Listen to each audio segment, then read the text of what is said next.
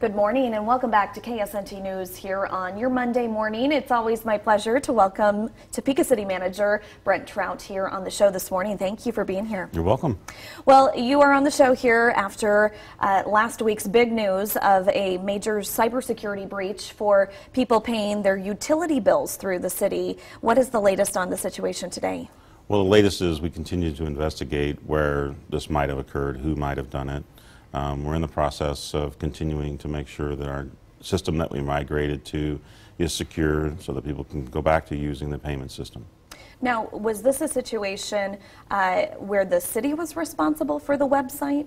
Well, we have a third-party vendor that handles our payment system, and the uh, attack occurred on that system.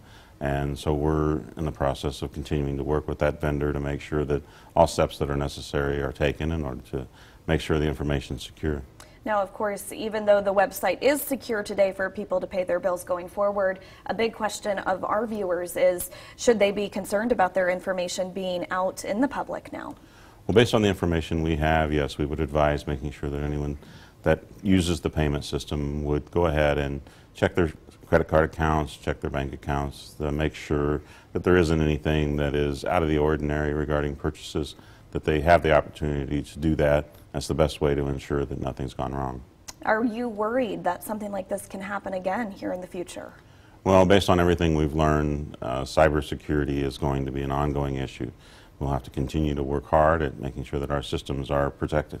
Yeah, absolutely. Well, here we are a few weeks away from the end of 2018 and uh, just wanted to know what are the big challenges we're facing right now for the city? Well, as we end 18, we need to wrap up some projects. We have to make sure that we end our budget on the right note, stay within the authority, uh, and then start preparing for 19. Um, we have a lot of things that we're looking at doing in 2019, and uh, it's time to get ready and get going on those. Yeah, maybe expand a little bit on, on what goals you have for the city for 2019. Well, something that you'll see tomorrow night, we're going to roll out a rapid process improvement, which is a system that relates to lean uh, trying to make our government and our operations and processes that we do more efficient. And so we're excited about that. That's one of the uh, goals that I want to do is to get that done in order to us to be able to make sure that we're providing the most efficient government possible.